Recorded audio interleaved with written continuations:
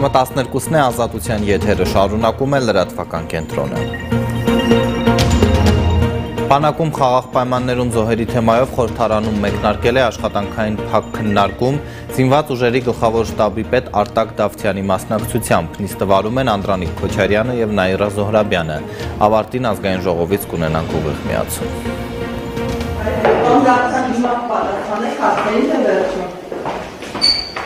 պատասխանեք հասնելին է վերջում։ Ձեր ասել թե վերջ։ Հա, լավ։ Ռմբակոթի սենտր։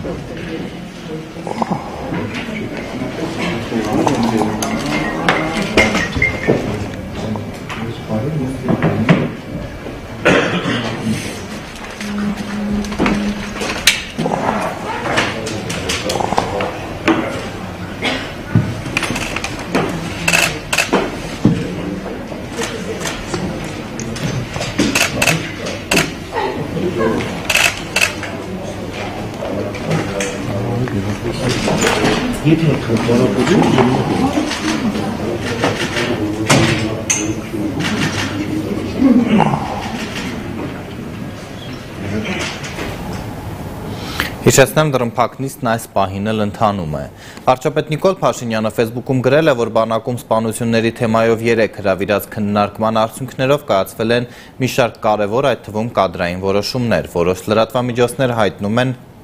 այսօր սպասվող պաշտոնանկությունների մասին։ Կարևոր եմ համարում բանակի շուրջ նյարդային մտնոլորտի բացառումը, չկա բանակ հասարակություն բաժանում, գրել է Փաշինյանը։ Հիշեցնենք, վերջին 1.5 ամսվա ընթացքում բանակում արձանագրված տասնյակից ավելի մահվան դեպքերը 3 քննարկվել են կառավարությունում վարչապետ Նիկոլ Փաշինյանը խորհրդակցության էր հրավիրել անվտանգության խորհրդի քարտուղարին, պաշտպանության նախարարին, ազգային անվտանգության ծառայության տնօրենի պաշտոնակատարին, գլխավոր դատախազին, քնչական կոմիտեի նախագահին, զինված ուժերի եւ իրավապահ մարմինների բարձրաստիճան այլ պաշտոնյաների։ Ըստ գործադիրի հաղորդագրության պատասխանատուները զեկուցել են հարուցված քրեական գործերի ընթացքի մասին վարչապետ Փաշինյանն առաջնային է համարել քրեական ենթամշակույթի եւ կարգապահության հետ կապված խնդիրների լուծումն ու ընդգծել կարգապահության շեշտակի բարձրացման ուղղությամբ հետևողական միջոցառումների անհրաժեշտությունը տալով համապատասխան հանձնարարականներ։ Ազատության Facebook-յան ասուլիսի հյուրն էլ ազգային ժողովի փոխնախագահ Լենա Նազարյանն էր, նա հաղորդմանը եկել էր վարչապետ Փաշինյանի հետ հանդիպումից հետո եւ պատմել է, որ բանակում սպանությունների հարցով կարևոր որոշումներ են կայացվել։ Հիմա Տեր Անանյան Մարինան ասում է Տիկին Լենա Նազարյան, ես ինչ սրտով երեխատան բանակին։ Այս ինչ է կատարվում։ Կարծում եմ պատահականություն է կարծում եք, սաբոտաժի է նման։ Տոնայանի կանչեք խորհրդարան, պատժվում են մեղավորները 43 օրում 17 զոհ։ Այս ինչ է։ Այդ հարցը ոչ մեկին անտարբեր չի թողում։ Ոչ կառավարությունում, ոչ խորհրդարանում։ Եվ մենք բոլորս անհապաղ անհամբեր սպասում ենք լուծումների եւ փոփոխությունների։ Այսօր վարչապետին այդ հարցնել ենք բնականաբար ուղղել եւ այսօր եղել է խորհրդակցություն վարչապետի մոտ պաշտպանության ոլորտի ղեկավարների մասնակցությամբ եւ կայացվել են հստակ որոշումներ, որոնց մասին կառավարության ղեկավարը ինքը կհայտնի։ Ամենագլխավորը գոնե ասեք հասկանանք ինչ որոշումներ ներողություն չեմ կարող իր որոշումները նա կհայտնի։ Տեսեք, օրինակ մարդիկ ասում են, եթե մենք ասում ենք այս զոհի, այն զոհերի դեպքում պաշտոնյաներ կան բանակում, որոնք պատժվում են, օրինակ մեր լրագրողի հարցին պաշտպանության նախարարության աշխատակիցը ասաց, որ անուններ չենք կարող տալ, բայց մարդիկ ուզում են հասկանալ իսկապես X մարդը պատժվել է, իսկապես այս X մարդը ոչ միայն պատժվել է, այլև պաշտոնանկ է արվել։ Հայք է բանակը, չի բացվում այդպես էլ։ Ես համաձայն եմ, որ սպառված են փակ խոսակցությունները բանակի վերաբերյալ բնականաբար ոչ մեկ չի ուզում ռազմական գաղտնիք իմանալ խոսքը իրավունքների պաշտպանության մասին է եւ կյանքի իրավունքի այո կյանքի իրավունքի պաշտպանության մասին է եւ ես կարծում եմ որ պետք է ոչ միայն հանցագործները պատժվեն, պատասխանատվության ենթարկվեն, այլ նաև այն պաշտոնյաները, որոնք պետք է կանխարգել էին այդ հանցագործությունները, բայց բայց վրիպել են։ Օրինակ իրավապաշտպան Ժաննա Ալեքսանյանն էլ ասում է Տիկին Նազարյան, որ իրավապահներն են իրենց դիրքորոշմամբ կարծես թաքցնում կրկին նույն հոդվածն է ինքնասպանության հասցնելը։ Սա ինչ նորություն է։ Կարծում էին, որ հեղափոխությունից հետո այս հոդվածներն ավելի քիչ կհարուցվեն, բայց կարծես նույն ծրագիրը շարունակվում է։ Ի սկզբանե այդ հոդվածով է հարուցվում, հետո հետո արդեն Փոխվում է։ Այո, ես այդ հարցը տվել եմ ինչու հենց այդ հոդվածը, ասում են դե ինչ որ հոդված պետք է ընտրեն։ Հետո արդեն հանգամանորեն ուսումնասիրելով միջադեպը փոխում են Բայց ես համաձայն եմ միանշանակ, որ տեղեկությունները պիտի ավելի հասանելի լինի, այն խնդիրները, որոնք կան բանակում, մենք պետք է ավելի հանրայնորեն քննարկենք, որպեսզի հանրությունն էլ կարողանա կանխել։ Գիտեք, շատ հաճախ որ ասում են բանակը հանրության հայլին է, ես այդքան էլ համաձայն չեմ այդ պնդման հետ, որովհետև ես կարծում եմ, որ մեծամասամբ բանակում ծառայող քաղաքացիները ընդունում են համընդհանուր համակեցության կանոնները, բայց լինում են անհատներ, խմբեր, որոնք համարում են, որ արտոնյալ կարգավիճակում են, չգիտեմ ինչ հանգամանքներով պայմանավորված, եւ նրանք են խաթարում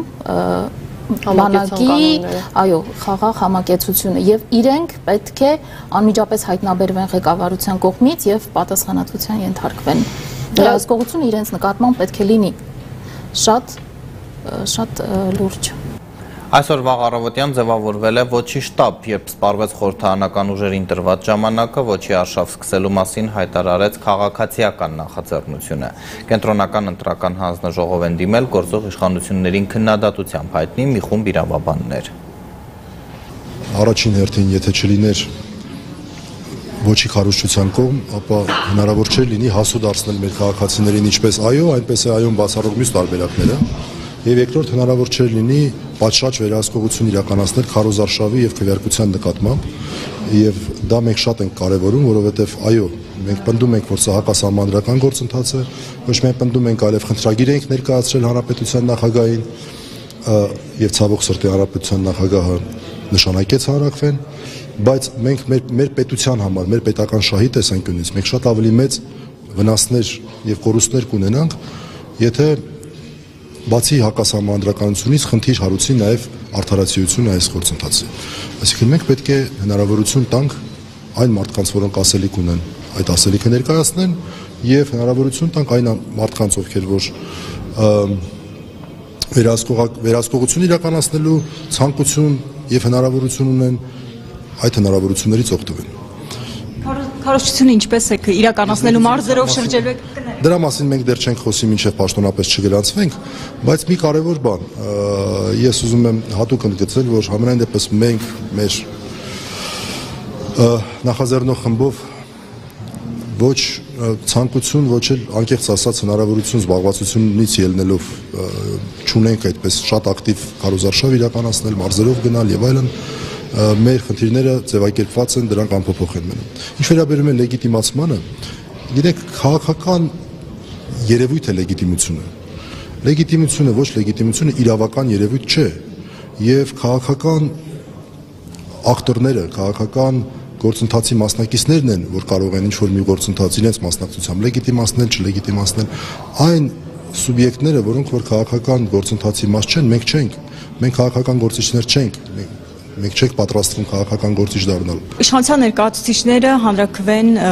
այսպես են հա արդեն ձևակերպում, որ սա լինելու է վստահություն իշխանության նկատմամբ, այսինքն երկրորդ անգամ քաղաքացին վստահության քվե է տալու իշխանությանը եւ հանրակրվեն էլ քաղաքական գործընթաց է։ Այս պարագայում դժվար չէ ոչի ճակատում լինել եւ պայքարել ոչի եւ պաշտպանել ոչը։ Հաշվի առնելով, որ սա ձևակերպված է արդեն որպես վստահության քվե գործող իշխանության։ Մենք մենք իրավաբաններ ենք եւ մենք գիտենք, որ քվեաթերթիկում լինելու է մի շատ կոնկրետ հարց,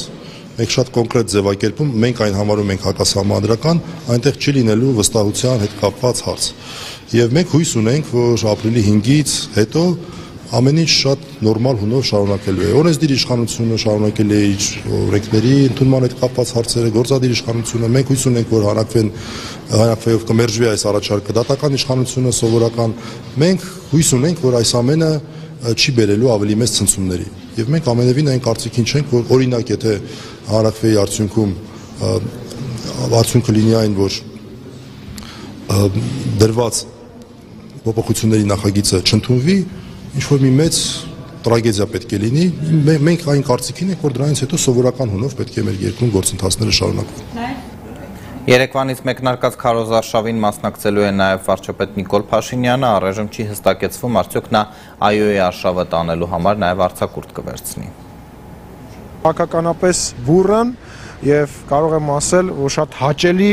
ժամանակահատված է սպասվում, որտեղ որ մենք զրուցենք մեր քաղաքացիների հետ, կլսենք իրենց։ Սահմանադրության փոփոխության հանրակրվեի քարոզարշավին մասնակցելու է նաև վարչապետ Նիկոլ Փաշինյանը։ Թե ինչ ձևաչափով կլինի քարոզարշավը եւ արդյոք վարչապետը պատրաստվում է արցակուրդ վերցնել, դերևս པարզ չէ։ Նույնիսկ այդ հարցադրումը մեր մեջ կա, ոնց